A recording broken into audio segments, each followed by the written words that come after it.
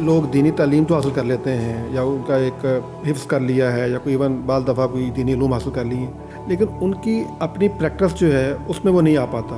उसकी आप क्या वजह समझते हैं कि वो क्या वजह है जिसकी वजह से वो इस्लाम को ख़ुद अमलन, अमली तौर पर पेश करने में नाकाम रहते हैं? मैं इसमें समझता हूँ कि जब तक दुनिया के अंदर ना कोई फ़ील्ड इंडस्ट्री नहीं बनती अवामनास के लिए, तब तक अवामनास उसके अंदर जो है ना, कदम नहीं रखते। तो हमें इस शरिया को एक इंडस्ट्री बनाना पड़ेगा। और उसकी एक एप्लीकेशन बनानी पड़ेगी।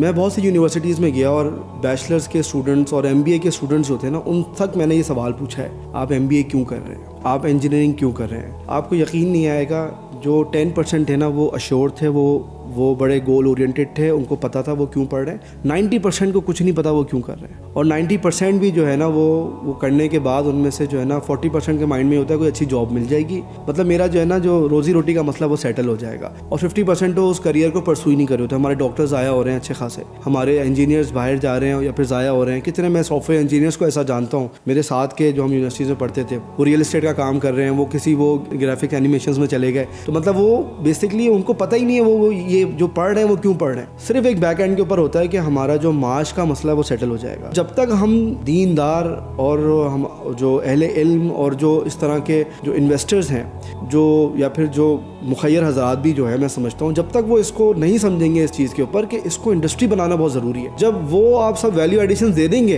तो उस तरह से हम्म। तो मैं ये नहीं कह रहा उसके बाद भी आपने तकवा रखना जहद रखना सारे मामला रखने जब आप वो कर देंगे तो आपका सोसाइटी का एक बहुत बड़ा जो टैबू है वो टूट जाएगा।